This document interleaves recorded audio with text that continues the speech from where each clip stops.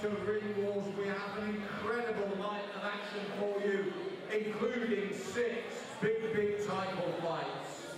And we are ready to start the evening with boxing over three one and a half minute rounds of boxing action. Would you welcome first into the blue corner, representing Sleaford Fight Academy,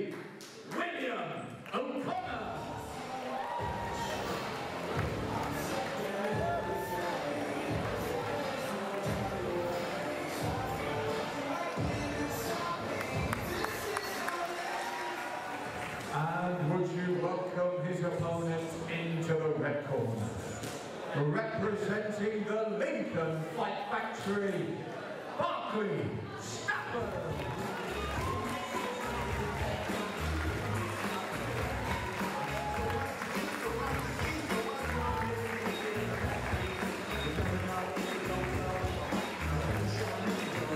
So we have William O'Connor, Sleaford Fight Academy in the blue corner, Barclay Stafford, Lincoln Fight Factory in the red.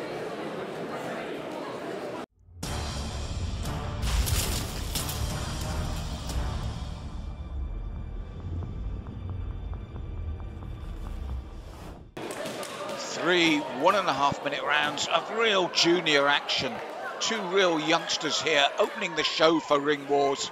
And you can see a very aggressive start from Barclay Stafford. William O'Connor making his debut here tonight. And as I said, two real young men opening the show with tough boxing action already. Look, neither one wants to give an inch.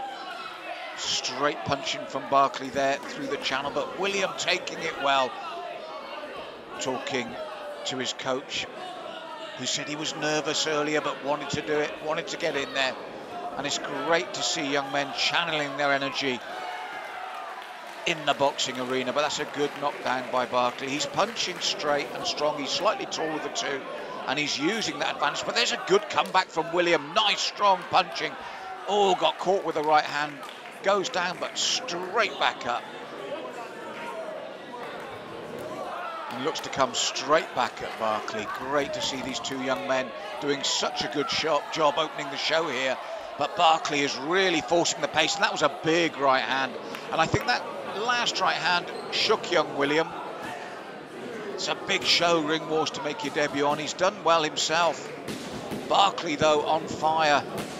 Really throwing those combination punches. And Mike having a quiet word with William. These are both young men. The crowd appreciate them. And Mike's seen enough. He's saying no more. And I think that's a good call. Williams proved that he's got what it takes there.